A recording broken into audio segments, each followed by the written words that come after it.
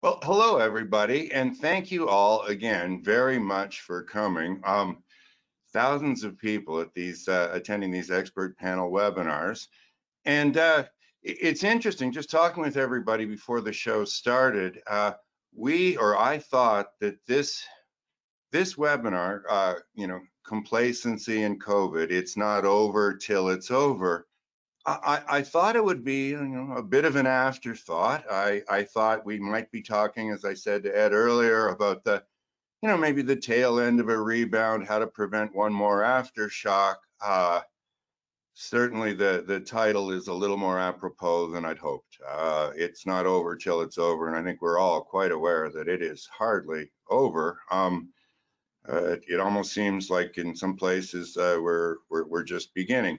Um, but just for those of you who are attending for the first time, the original idea of this webinar series with these experts um, from the leading companies was that we wanted to tackle difficult issues where somebody had to make a decision, like, you know, should our mission statement have zero harm in it or not? And you, you can talk philosophically about this for hours, but eventually somebody has to make a decision. Um, we also wanted to talk about reliable leading indicators. Which ones do you believe in enough to change the course of the ship? We wanted to talk about the importance of leadership, you know, and, and the limitations of, of what felt leadership can do. But we are in the midst of a crisis. And despite, I think, what everybody wanted, at least me, this being the tail end and an afterthought, is, is not the case. So, um, we're, we're going let me just briefly, everybody, again, for those of you don't know our expert panel, let me introduce uh, Ed Stevens is, uh, is with ABB, uh, Corporate Health and Safety Training globally. ABB, I think, is uh, 144,000 people, around 100 companies, 100 countries rather. Um, David Bianco is with Epiroc, and I actually said it correctly this time, David. I think that's the first webinar. I've got it. I've got it correctly. Um, and David is in charge of uh, oh, uh, corporate safety globally. They are um, it, it, everywhere there is mining and mining equipment. Uh, for, those of you who aren't familiar with Epiroc, so it's not just where they're they're assembling these big drilling machines, but everywhere in the world where there's mining, they'll also have service operations. Um, and uh, and David and I've worked together, uh, same with Ed, for uh, a number of years on different different projects, different companies. Um, Anthony Panapinto, um, and hopefully I got it right this time, Anthony.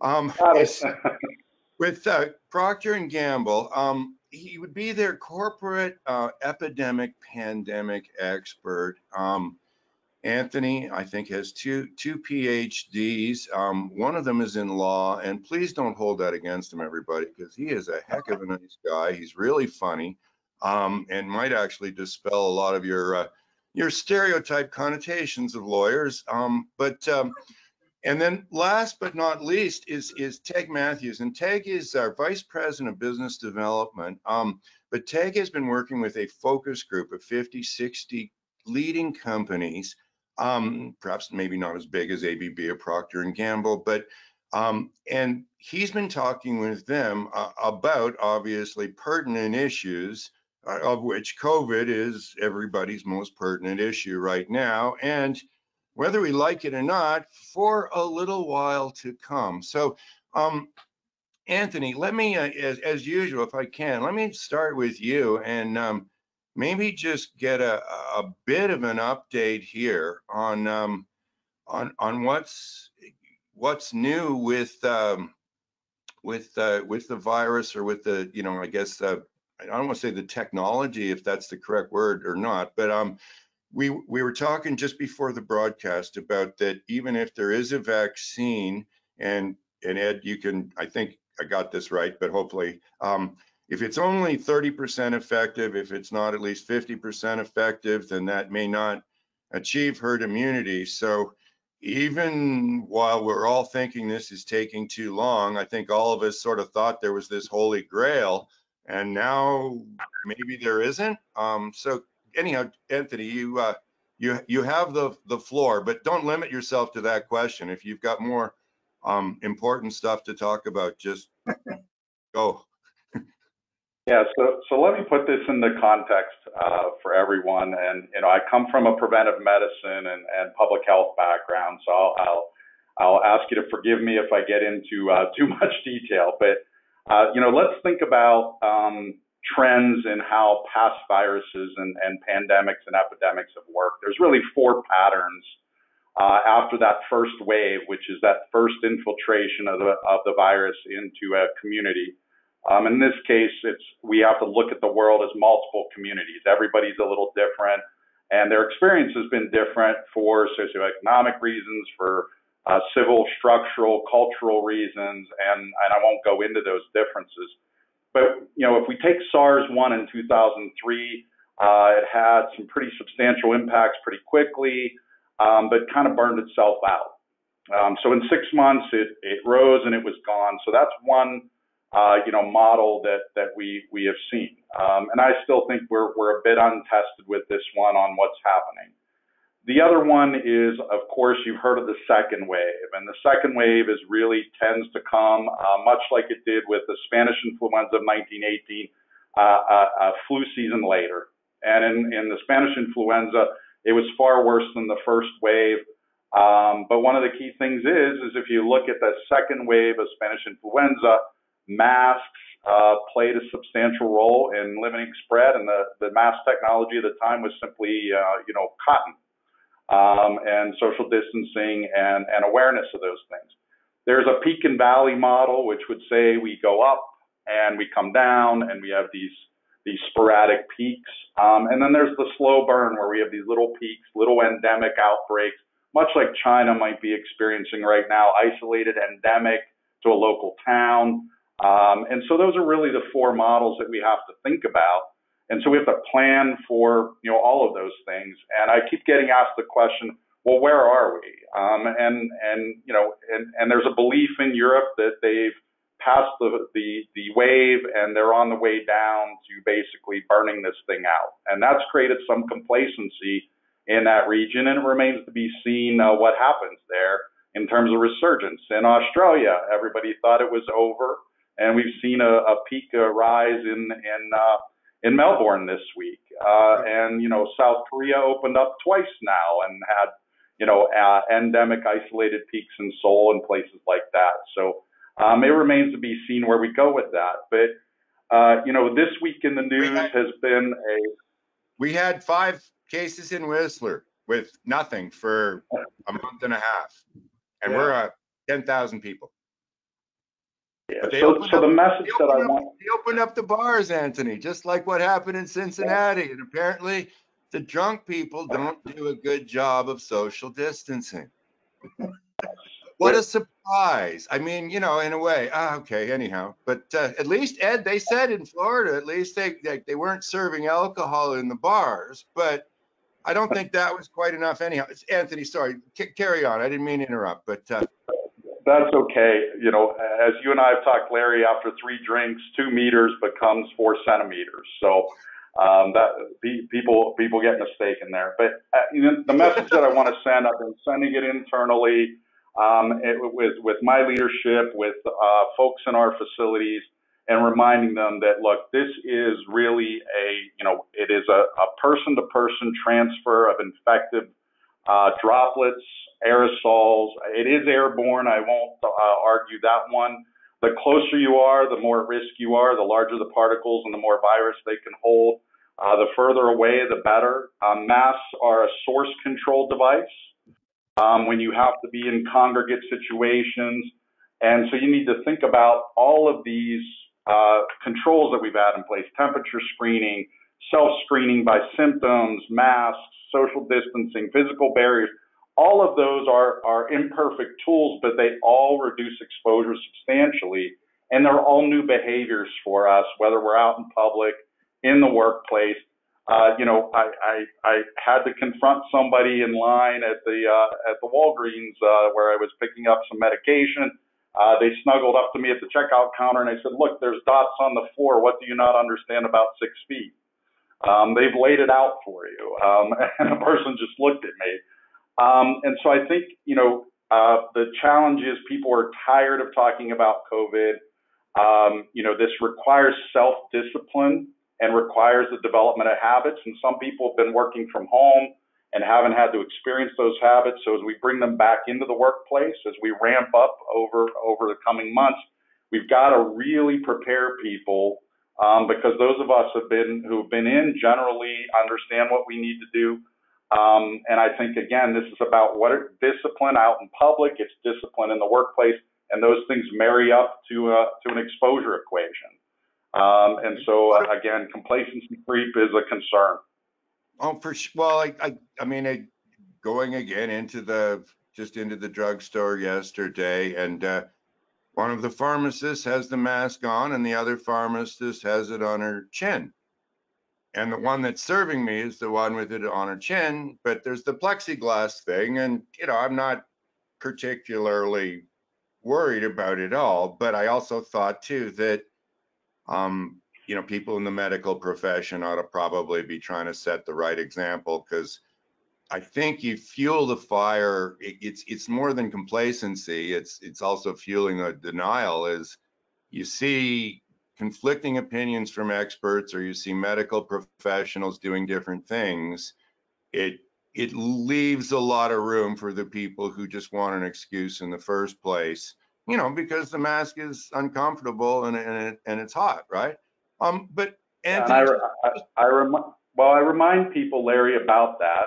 Even in the 1400s, physicians recognized that when they approach patients with cholera and the plague, they should wear a mask. Now, the masks looked like the uh, the head of a raven, um, and there were actually some scientific basis to the way they designed those masks to prevent uh, cholera. But if we could recognize in the year 1400 from thir- call it 1347 that we might need masks to prevent uh, you know the spread of disease. I, I think it's 2020, and with all our technology, we ought to at least have a uh, some scintilla of respect for that, as well as for 200 years, physicians have been using masks to protect sterile fields in operating suites. And while again they're not perfect, they are a layer of protection that can help stave off the distance and the concentration of viral particles that get spread to your work environment, your home environment, your uh, store environment, whatever environment you're in. Uh, and so that's just a simple message that I have is we really have to manage with discipline or else you can see what happened in Cincinnati this week. We now have a uh, not wearing a mask in public is a misdemeanor uh, with a fine. I believe it's up to $25 for each uh, each violation if you show up at a store or a restaurant uh, without a uh, without a face covering. So um, if we don't manage it, uh, someone will manage it for us. Interesting, interesting. Yeah, so so far uh, so far away from that uh, here, in that the you, everybody now is very very complacent about all of this, and then like I said, uh, we just five cases. Ed, um, speaking of places that uh, like Florida is where Ed's from, everybody. Um, and obviously uh, in the news a lot, Ed. Uh, there's seems to be, um, know, I know Anthony just loves this because the, the, the virus obviously really isn't too aware of where city limits and county limits are. So the virus wouldn't likely know it's moving into a different jurisdiction where there would be different control measures, right? So obviously, you know, educating the virus is a key issue here if we're going to have different standards. Um, what's up with all that in Florida, Ed? And uh, is it is it being fueled primarily by complacency? Is it being fueled primarily by denial? Or is it just because of the money and the economics? Well, I have to be careful how I answer this because I don't want to create a political debate and and I don't want to bring politics deported into from this the answer, state but, tomorrow. Yeah, right. I, no, I didn't mean that. I just, but you know, I, I know, I'm but curious, though, if, if you really remember, is, is it all three maybe?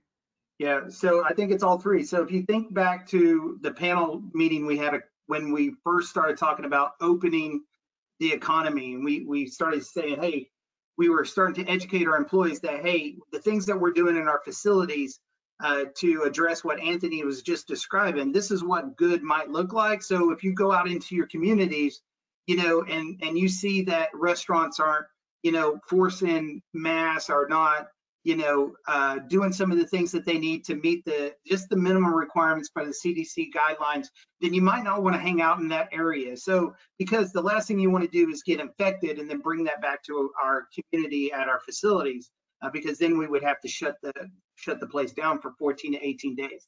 So, and, and then I made a comment, I went to Universal Studios and when we went to Universal, uh, they, right when you get out of the parking lot, you got to put, you know, you're recommended to put a mask on.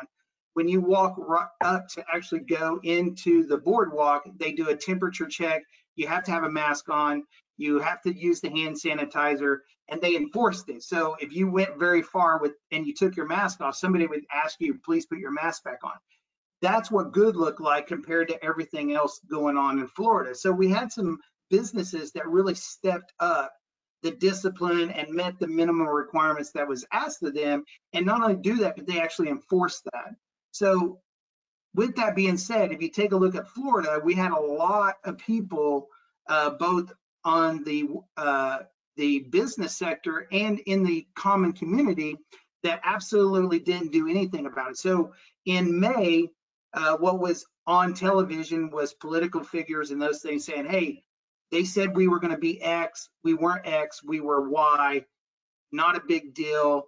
Let's reopen. We've we've got this under control, and we didn't enforce anything. So we had no discipline in the community. And so what happened is when that happened, we saw an insurgent of these cases. We saw them go through the roof because we weren't doing social distancing.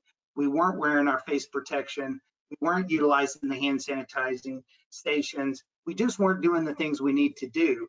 And in my personal opinion, that's what uh, is causing the spike in the Florida area. Now, if you take that back to our to our plants, our plants, we started enforcing masks and, and asking the employees, hey, you will need to wear these masks from the time you get out of your car until you make it to your workstation.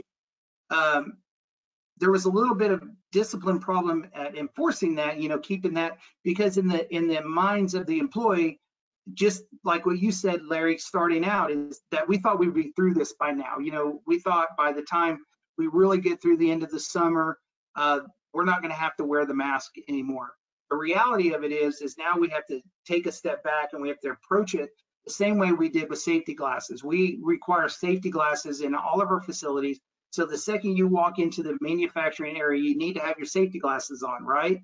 And I, I just got off a phone call this morning and I asked one of our HSE professionals, I said, hey, if I walked out into your plant right now and I didn't have my uh, safety uh, my safety glasses on, would somebody approach me? And she said, Ed, you wouldn't get past the aisle. You know, you wouldn't make it very far in the plant.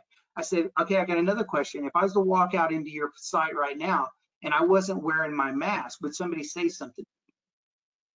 And she paused and she said, you know, they might not say something to you, but they might tell a supervisor.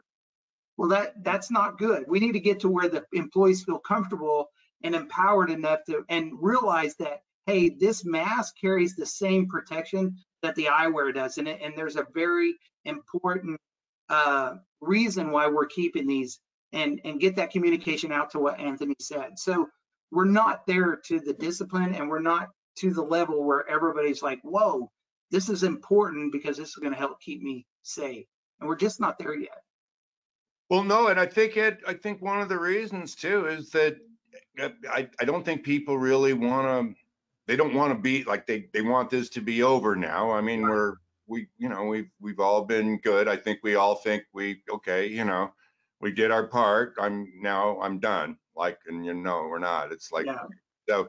Um, David, let me let me move on to you. Another. Uh, I mean, Dallas certainly isn't in the news as as much as much as Houston uh, seems to be making it into the the news lately. Um, but you know, in general, it it sort of seems like there was, uh, you know, a, a, lot, you know, kind of a, the, almost like the tide going up and down now. Um, but as you said, part of that is sensationalized by the fact that they allowed they allowed elective surgeries to take place and naturally hospitals want to be running close to capacity to be cost effective. So you get a new influx of patients. It doesn't take long now before things are at capacity. So that's, as you said to me last night, the story behind the, the story a bit. But um, tell us, just tell us a bit about what the, you know, the the rise and fall of complacency in Dallas and Texas and Houston. And then um, since your corporate office is in Sweden, I know everybody'd like to hear a bit about how things are going in Sweden. And th then we can get to get to tag and uh, and talk about the community a bit. But tell us tell us a bit about what's happening in your neck of the woods, David. Well, Texas is like Florida, experiencing uh, some reopening processes uh, in the latter, mid to latter part of May. And then we had the Memorial Day weekend. And then we had a lot of protests in the larger cities. So there have been multiple sources of uh, potential growth of, of the virus. Uh, coincident with that, uh, back when, uh, because I know this personally, because March 30th, I had to have emergency surgery on uh, retina detachment. So I went into a surgery facility because it was emergency and there was only two of us having surgeries that whole day.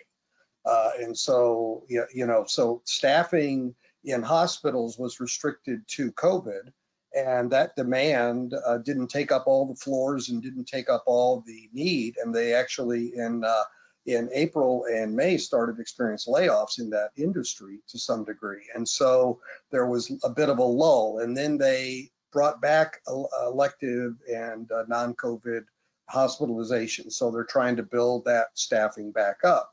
So there's there's a lot of variables going on in terms of uh, the hospitalization uh, capability to meet the demands. Uh, and now that we now have elective surgeries out of the way, there still are the usual heart surgeries, gallbladders, whatever going on. So you layer that with COVID, and again, uh, it's going to be a peak. Uh, another thing that happened here, and I'd, I'd be really curious uh, in the other locations if you guys run across this, uh, what is the definition of a case? They changed that in uh, May in uh, in Texas to include antibody testing. So uh, which generally can be a good thing because that tends to mean you've had it in the past and you may you may not be contagious now because you've had it in the past and didn't realize that you were asymptomatic. So there's just a lot of variables going around. But the biggest impact, I think, when you get back to the personal level, and you were talking a minute ago with Ed about fatigue, essentially, we're tired of this, and complacency, uh, is is that people are starting to know people who've had COVID uh, and and uh, we've had had it in some of our facilities, people who had been there, and then you know the next week after they weren't feeling well, didn't come into work, and then they got tested positive, and then they they did have some days that they could have uh, had it when they were in the facility. And so we are, you know, everybody now knows pretty much somebody who has uh, tested positive and and or been sick of it uh, from and it. Is that, is that David? Is that is that affected? Like, is it it when I got to talk to people who've had COVID, it affected my level of complacency. Um, just because it, hearing my brother-in-law tell me how sick he was. Mm. We My- basically, My, my wife's yeah, name is Wilson, and I have a brother-in-law named Larry. I, I know it's. Larry. I know, brother. Larry Wilson. Um, but uh, anyhow, um, but yeah, he uh, no, he works works construction. Um, you know, uh, heavy equipment operator, and uh, the uh, their whole uh, their five of the people, I think only had 20 or 30 people at their company, but five or six of them got really, really sick. They got told, you know, if you get any worse, go to the hospital. So they they all kind of got better, and five or six, they'll never be recorded at all. And then uh, just yesterday, I was talking to uh, a a new Swedish consultant. Uh, he and his wife and his 102 year old mother got it, and he um, they're all alive. Every everybody made it, but you know, talking to people had it definitely, you know, makes. I mean, I'm, I'm I'm trying my best, but I found it gave me a bit more of a I don't know shot in the arm in terms of the motivation for sure. But um, uh, other than like, do you think that's helping then, David? Is, is are people now starting to be taking it more seriously in, in Texas then? yeah, I, I think those that are, are gonna bucket are gonna bucket. You know, I think that's just uh, the nature of some people. But I think people that are on the fence are now starting to experience the, uh, I know a person, because we've gone to all masks in our Garland facility required when you come in the door. And, uh, and that was just uh, after we had had some people who had uh, come up positive. So people are starting to realize this isn't just a news story, it's a reality story. And, and most of the people are acclimatized to it now, I'd say. They realize that's the climate we're in right now. Uh, the few that really buck it, we just watch them a lot more, you know, and, uh, and that's a bottom line. And, and so uh, I, I think it does start to have that impact that you want to have. And it's unfortunate that it takes that, but sometimes that's the reality. Well, I, I, I told, I, I told some folks that had just sent the, uh, you know, the, the course was ready last night. So a few people I know I sent it to, and I said, by the way, I said, when we filmed this a couple of weeks ago, they weren't at hundred percent masks in this facility. They are now, Mhm. right? That's, Mhm. but, Yeah. you know, I can't, they, th- it's such a moving, it's such a moving target that, you know, I don't, I don't necessarily think things like that prohibit, you know, using, you know, you, you, using things like self-triggering to keep yourself from making a mistake with COVID. I mean, it's, I, you know, I'm not, I'm not going to necessarily worry about all the B-roll, if you will, because it is, a, it is a moving target. But, Yeah. um, Teg, what about the, I mean, I hate always throwing you the responsibility of representing the industrial world in North America, Teg, you know, besides, you know, uh, Epir- Epiroc, P&G, P&G and ABB, but, um, the, what, i- i- it been pretty much the same as what, uh, you know, David and, and Ed and Anthony were saying? It's been sort of like the, you know, ride, like almost like the tide is, uh, or, you know, where, where, what about in places, for instance, where things aren't, aren't bad? Right. Um, You know, like where, or like, you know, a, a week ago here, where it wasn't bad. Now it's bad Right. here. Now it's Right. bad proportionally. You know, five cases out of 10,000 people is very, you know, is very high for Canada and British Columbia right now, right? Right. But that's how, I mean, Anthony told, I mean, it's gonna, it's gonna spread like a virus. What a surprise. Um, I guess that's where it all comes from. But what's happening? like, what, what's the general feeling out there? Like, when they show us the map, Ted, um, and, you know, there's the states and the provinces where it's going up, and here's where it's going down. Um, maybe just give us a bit of the collective from both of, uh, from both of them. Sure. So um, I, I, I hate to be uncontroversial, but I'm kind of kind of echoing what everybody else is saying. Actually, you know, i- i- if we'd have had this conversation about ten days ago, um, you know, the, the roundtables that we've been running, we've been talking, as you said, to about 80 different organizations, and the roundtables tied in with COVID, you know, that people were still interested in it, but they were tired of talking about it, right?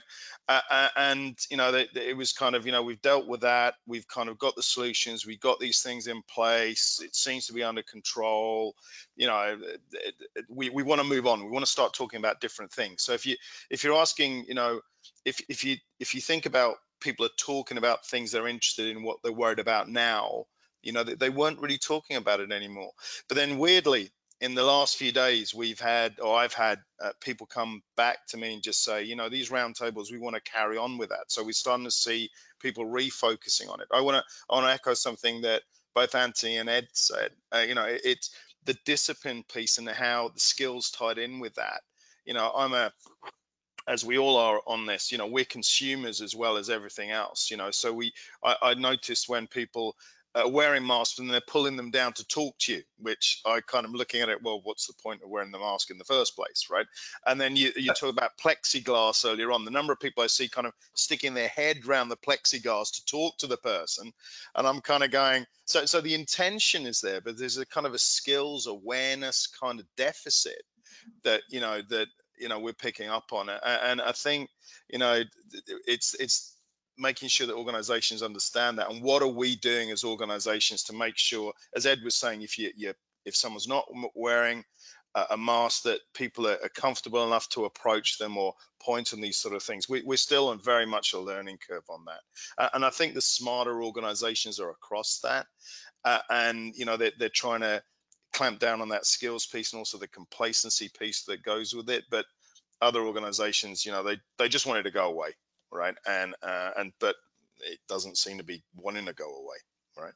Yeah, well, it, I, and I'm, you know, I, for one, I mean, when before the thing opened up, uh, you know, Ed was Ed was telling me about the, you know, or David, I think, was saying about the maybe, maybe it's going to be ten feet, not not six feet, right? You know, but in, in most cases, you know, hopefully, hopefully six feet. But uh, I, I think I think there is a, a, general acceptance that whether I like it or not, this isn't going away. And I think if you, I think you know, seven to ten days ago, I don't know if people were were there yet. Jake, I mean, like it's, uh, you know, I thought this was going to be an afterthought. This one, and as I said before, uh, before you got on today, uh, I, gentlemen, I don't, I don't think this is going to be the last time we're talking about COVID. I mean, I'd love it to be, but that that I don't, it's not going away any, anytime soon. So um, but to your other point, take about people you know, just want to talk about other things. We had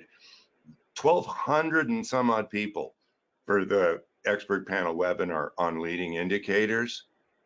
And yet we still had to talk about COVID a lot because that's actually the, the crisis, right? So we, right.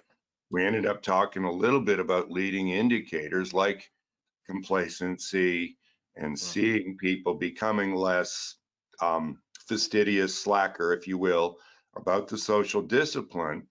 And isn't that just a leading indicator for a rebound? So, um, Anthony, if I could, maybe just a, a bit of more specifically now at, at, at, at your company, um, North America, around the world, whatever you'd like, about the about the complacency, uh, the leadership group, um, you know where where's everybody at collectively on this? And are you are they listening to you? Um i guess is uh is part of it. Um i i would think they should be they would be pretty attentive at this stage.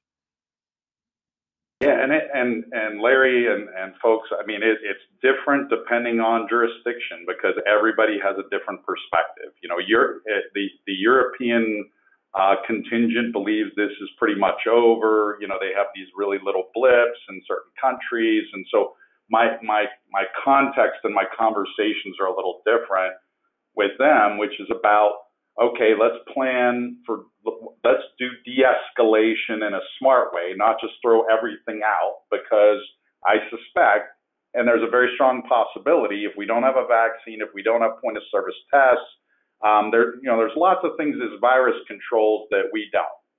Um, and immunity is, is one. The presumption that just because you have an IgG antibody that it's functional and it lasts a long time, we don't know that yet.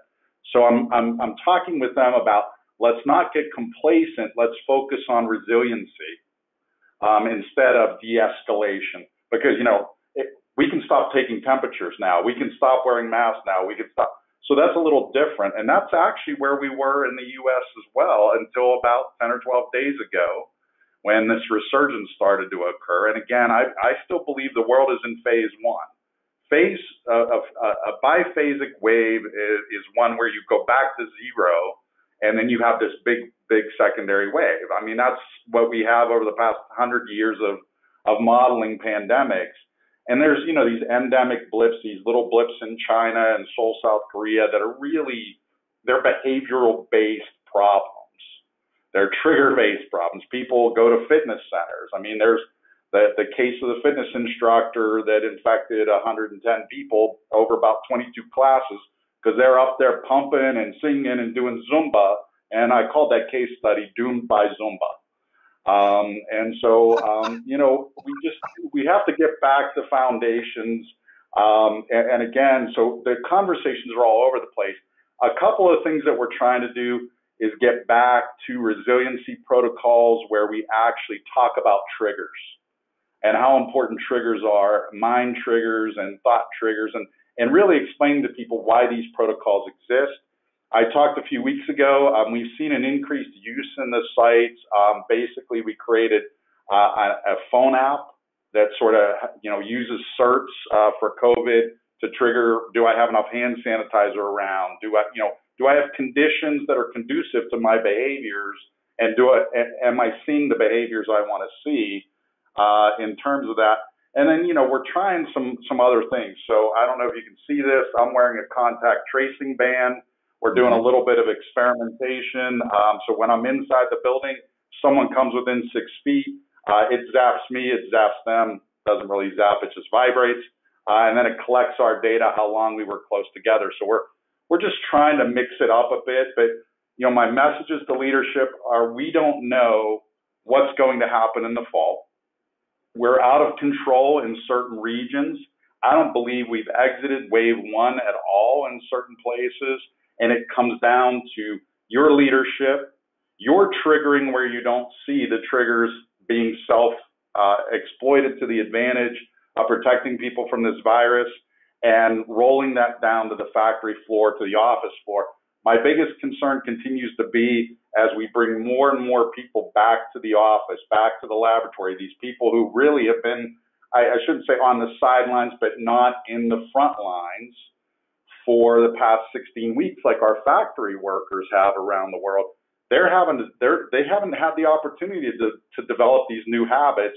And as evidenced, at least in Cincinnati, they're not even making attempts at home to do so because the uh, you know what what's happening in the community. And I still see bad behavior on my drive home. I, I circuit through all the restaurant parking lots and see what's going on at the at the outdoor bars. And again, my theory is three drinks, two meters goes to four centimeters. It's just a natural uh, you know effect. Yeah, yeah. There, it certainly seems to be. I mean, nobody will know for sure, but it, it, it seems awfully coincidental that they opened they opened the bars and we had five cases within it within a few within a few days. Um, uh, Ed, let me uh, let me ask you a bit about uh, a, a, bit about what. Um, oh, by the way, everybody, when Anthony said CERTs, he, that critical error reduction techniques, but uh, Ed, um, what what are you folks? What all are you folks doing um, in terms of uh, you know the anything you'd like to talk about really internally, uh, whether it's contact tracing, using tech. One of the questions we had coming in, I want to make sure we come back to everybody is, uh, um, and Anthony just touched on it. You know, any technology you're using, um, not necessarily recommend or anything. Just you know, what are you what are you using? Um, for everybody, again, this this isn't advice. This is just what these guys do. You can take it or leave it. Um, but um, yeah. or or, uh, or or just uh, you know just what you're doing, to, uh, you know, from a leadership point of view to help fight complacency, Ed, or uh, or are you know maybe you're not. Um, but well, I can't imagine living in Florida, you guys are still complacent. That I can't imagine that would be uh, the case.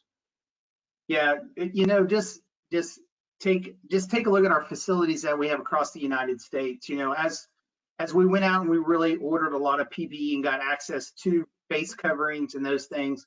Uh, some of our sites are just now going live mandatory face coverings as effective as July 1st because uh, they were in areas that wasn't uh, had large cases. So we focused the PPE on the hot spots in those areas like that. But you know, we do temperature checking, and we had we hired uh, industrial nurses to be at our facilities to to help us monitor this and collect data. But the reality of it is to really answer your question is we got to a point where they the, the businesses really felt like that this thing was going to slow down in the summer and go away. So even though we're telling the employees you got to wear face coverings when you walk from your car to your workstation, if you leave your workstation, you better have your face coverings on. Um, deep down in their soul, they thought, well, we we can do this until July, August, you know. But now they're starting to come to terms that, hey, this is not going away, right? Anytime soon. Actually, it's worse now than it was when we first started doing all this stuff. So the great analogy that the conversation piece to use now is the the uh, the eyewear, you know, and I keep going back to this because you know when when an employee we started making it mandatory many years ago that they had to wear uh, safety glasses we got a lot of complaints from those safety glasses. They fogged over, they cut the back of my ears. Uh, and Headaches. we would get them new safety glasses, and there was always reasons why they couldn't wear the safety glasses. And this is stupid. Why do I have to wear safety glasses when I'm walking in the aisles? There's nothing going to hit me. It's a way to get past that discipline. And then, you know, if if somebody of leadership, a manager, a supervisor would walk into the area, the, the employees would feel comfortable to go up to them and say, hey, I'm concerned about your safety. Do you mind putting on a pair of safety glasses? Those are the conversations we're now starting to have around the mask. You know, if, if I'm in a senior leadership role and I walk out into the plant and somebody sees me without a safety, you know, uh, a face covering on, do the do the employees feel comfortable to come within six feet of me or 10 feet or whatever it is and say, hey, hey, sir, you know, I need you to get some face covering on. Because the reason why that's a big thing to talk about now, because when you go into restaurants and you see people that it says they're required to have face coverings, but yet you watch the person behind the counter not feel comfortable to say, hey, Ted, I need you to put some face coverings on, or, or don't feel comfortable to say, hey, if you're going to shop in our business, you're going to have to have faith. So getting the employees past that. Dick's heard that all his life, by the way. What's that? Dick's heard that all his life, by the way. Get a get a right. face get a face covering on there. Yeah. yeah. So so get our employees comfortable enough to say, hey, I you know, do you, I'm concerned about your safety. Do you mind putting your mask on properly? Then the next piece of that is is to start having those conversations about those leading indicators. Do we start tracking when and we when an employee is within six feet of each other and they don't have a face covering on? Is that a near miss? Do we want to track that as a near miss, right? Because now they just had a potential of exposure. So the conversation pieces are now starting to change because now masks are going to be longer than August, September, October, November, right? right. So now they're saying that masks might actually truly really be the new more norm. And if we don't take that serious, this is what we're going to see. We're going to see the things that are taking place in Phoenix and Houston and Dallas and, and Florida, etc. So, so the conversation piece.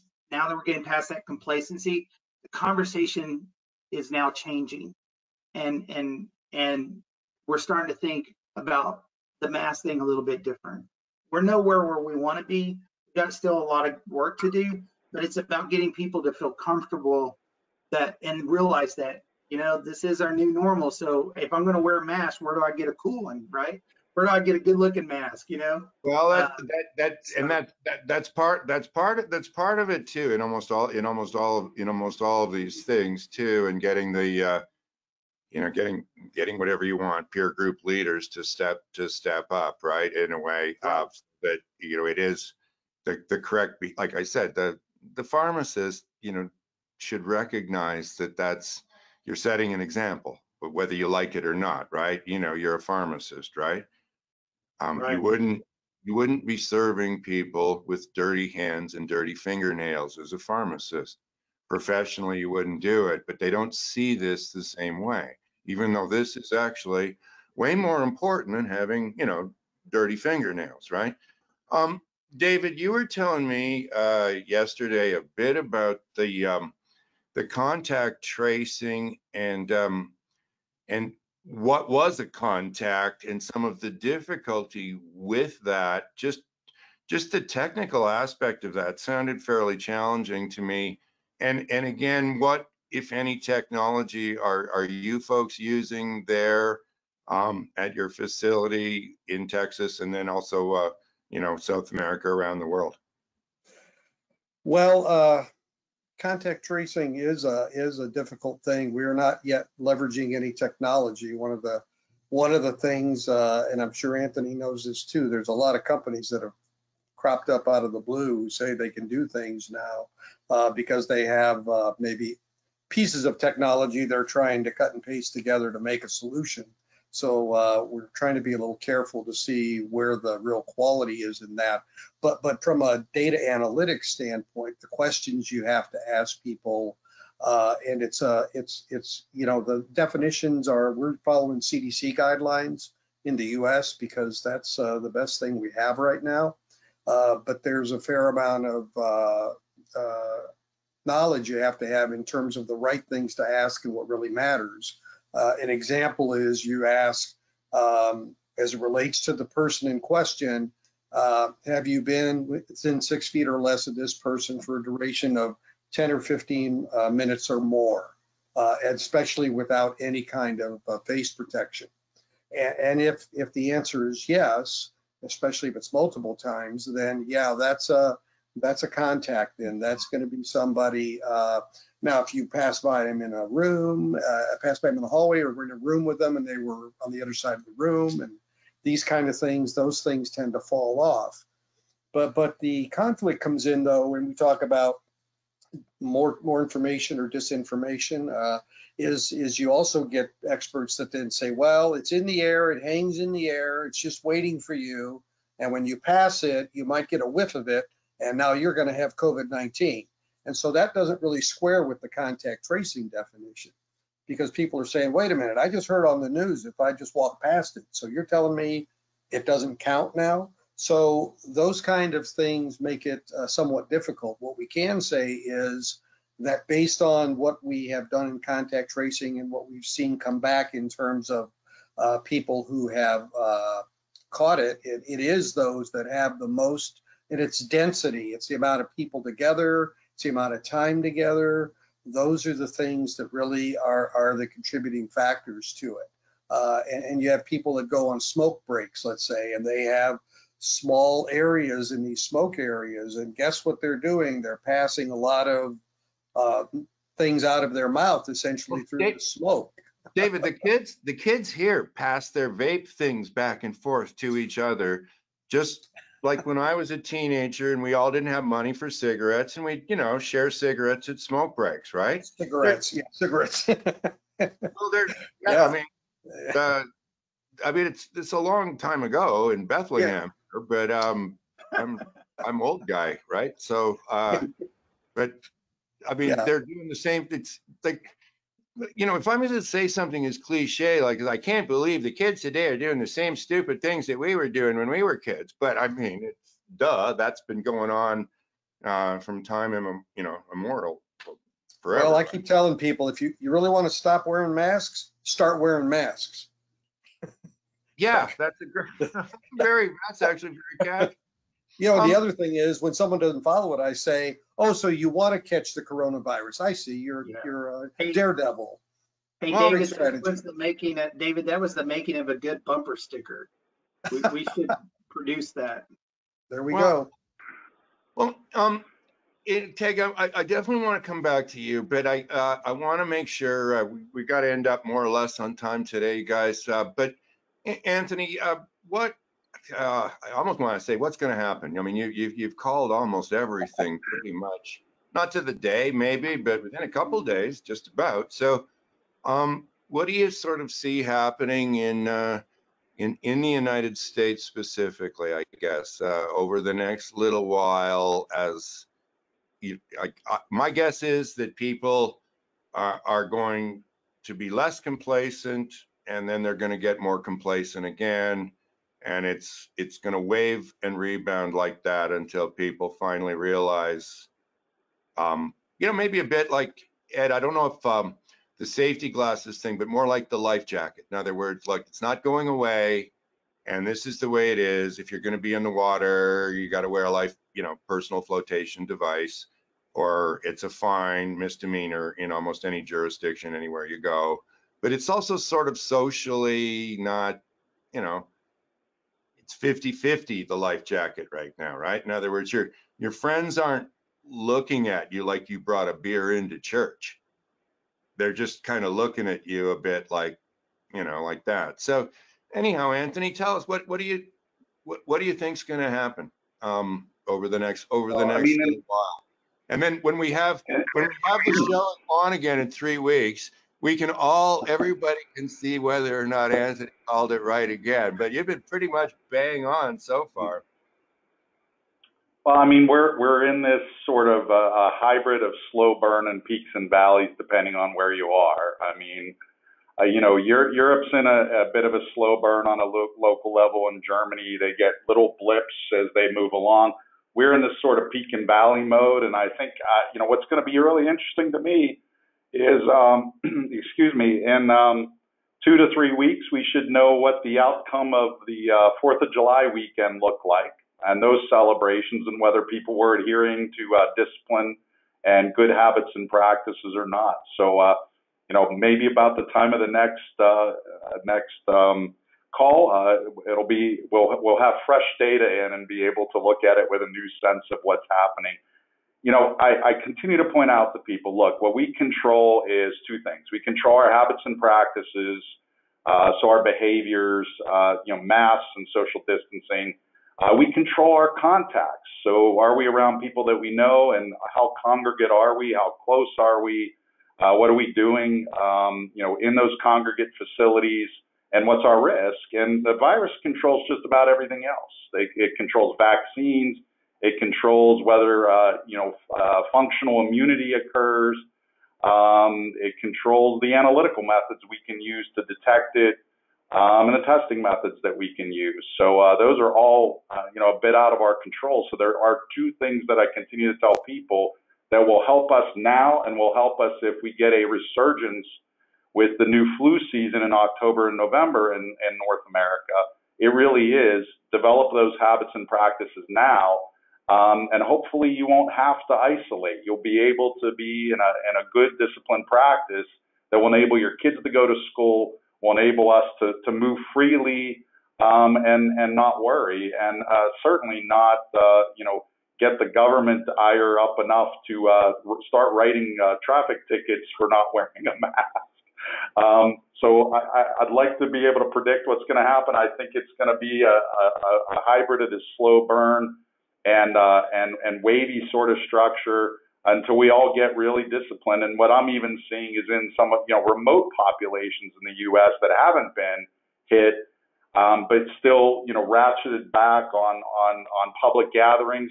They've opened back up, and now we're seeing a few cases in places that we didn't see cases you know, two months ago when this thing was really starting its ramp up in the U.S. So that's the best uh, that I can give you at this point. We'll see if I'm right in a few weeks or wrong. You can, and I feel free to let you tell me that I was wrong because uh, this is a, a, bit like gambling. The virus uh, knows what it wants to do. Yeah, no, I, I think that, but the takeaway, you know, from so much of the conversations I've had with you, Anthony, is is just that: is that the, the you know this isn't this this isn't like something you know you can go to congress and petition for a lesser virus because this is just too difficult for our economy it, it's not that's not how it works you guys and you know the that you don't make the rules even though you get to be the messenger that's telling us all the bad news you know which is never an enviable position right everybody always wants to argue with the messenger with the bad news because nobody wants the bad news right and we'd all like this to go away. Um, but it's not going away. Yeah, and there's, Sorry. and there's no one-off answer. It is a combination of layers of behaviors and protection um, that that will help us deal with this. And um, you know, I think everybody just has to do their part. And again, uh, you know, I, I, talked about early in, in, our in our experiences together here on these calls about the infodemic. I've now reframed it as the misinfodemic um, because it just only gets worse what the mass media and the internet is creating in terms of misunderstanding and inconsistent messages uh, about those behaviors to people. So it's a confusing time for, for people, and I empathize with the, the general populace because leaders are confusing them more and more. Well, there's that there's that too, but like to Ed's point as well too about you know we we haven't achieved a level of social frowning. I don't know, whatever you want to call it, where when people do things like they steal your parking spot, we all kind of look at them going, no, dude, you can't do that. He was there first, kind of thing, right? You know, it's sort of a, you don't butt in line, right? Unless you're in Europe. Just kidding, everybody. Um, but, uh, you know, the, like there's certain things, you know, you don't burp in a public gathering um, that we just, you know, people have to kind of it's not cool, right? Don't do this. It's not like, you know, it used to be you could smoke anywhere. Now you go, you light up a smoke in somebody's, you walk into somebody's house and you light up a smoke, you know, they're looking at you like, who the heck do you think you are? Like firing up a cigarette in my house or a cigar. Like you'd never do that now, right? But before that was totally acceptable and it would almost be like, hey, where are your ashtrays, right? Well, that's so now we've we've got to. I think you know we've certainly got to achieve that. But I, I we're we're a far we're a far far cry from it in terms of certainly where, where I am. I see, you know, I, I don't see people just dealing with the air component. I see people really still struggling with the, the will I or the will I or won't I. Um, once I got past that, I realized just not making any mistakes with new systems and new habits is way more than just making a decision. That's like like the whole slipping and falling thing. You don't just get to make a decision. You're never going to slip and fall again. It takes you know skills, skills, habits and things to to actually prevent doing this. Prevent forgetting your wipes, forget, you know, your mask, all of all of those kinds of things. I mean, that's why I tried to feature the, your guys' stories in our training program to give people comfort in that, look, even experts make mistakes. So if you think you made a mistake, the best thing to do is to keep that mistake from getting anybody else infected right now. Don't don't try to pretend you didn't do it because even the experts make mistakes. Go go and make sure that you know you're not making this making this worse because one person getting it's one thing. It's it's when you go and infect a whole bunch of other people that it gets really bad really quickly. Anyhow, Teg, um, I, have got to I've got to let you wrap up here a bit, just in terms of where do you, um, is the collective group out there more more or less aligned with what Anthony uh, what Anthony was saying? Is that it's going to sort of be this uh, this ebb and flow thing, or are they all just really thinking they can hold their breath until this is over at the end of July, and then we can all go back to normal and uh, carry on as as before? You know? Yeah, I, I, I think there's there's that realization that that's not going to happen, right? And, and I think people have been fighting it and we don't we, it's what we all want isn't it but but uh, i think there's that realization that that's not the way it's going to play now and so you you know, so you, you're getting into conversations where people are looking to move on in terms of, you know, what they're trying to do for their organizations in terms of safety, but they're, they're also heavily focused on how does that play in a COVID kind of space, right? So you, you're getting that. I think, I think Ed hit on a huge point with, you know, the recognition of the hazard piece, the willingness to impose rules, you know, and, and, and like you've been saying, Larry, is that, is that willingness to, what was the phrase used? Social, social frowning was a phrase you used a couple of minutes ago. Right, well, no, but you're right. You're right. That that's kind of where we need to get to, and we're not at that point yet. But that's that's a, that's a learn too, right? We, will yeah, we'll, well, I was really, I, I, was really trying to get at that in the, you know, in the training program with the, you know, like if you got to the point where there was no, you know, every, no matter where you went, there would be somebody that would be looking at you like you were urinating in a public place, right? Going, what are you doing? You're not even drunk. It's the middle of the day. This is not cool. You don't do that here. You know, that's yeah. that sort of thing, right? You know, yeah. um, but, Friday but, night downtown wobbling, we expect these sorts of things. But then again, that's where all the social distancing goes right through, uh, you know, goes to heck in a handbag as well too. Um, but, but, that that plays into something uh, again that uh, so which is resilience, which is a, a, I write that in a big big circle on my sheet of paper here. You know, that, that's essentially what we're talking. We need to be resilient, and uh, and so you know what we're talking about is standards, what people are doing. They're consistent. They consistently apply things. You know, so that message. That's how you drive that kind of change. I think, and and and that's where that's where we need to go. Plus, I've also written down. If you want to stop wearing masks, start wearing masks. I am going to get a T-shirt with that written on it before the end of the day. I guarantee it.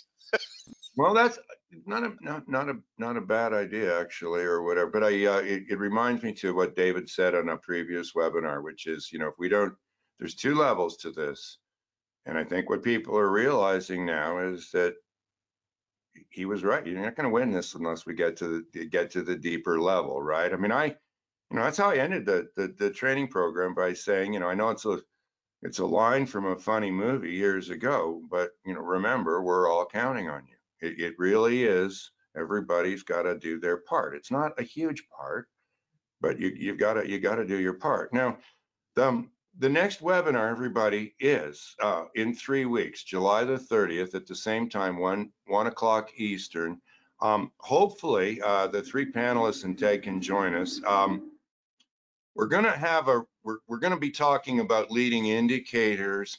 Um, what would make you change? Uh, and uh, interestingly enough, like I said, we've had this on already in the uh, India and the Middle East, um, some really big uh, leading organizations. And we all are well aware of organizations that have made a significant pivot based on a catastrophe.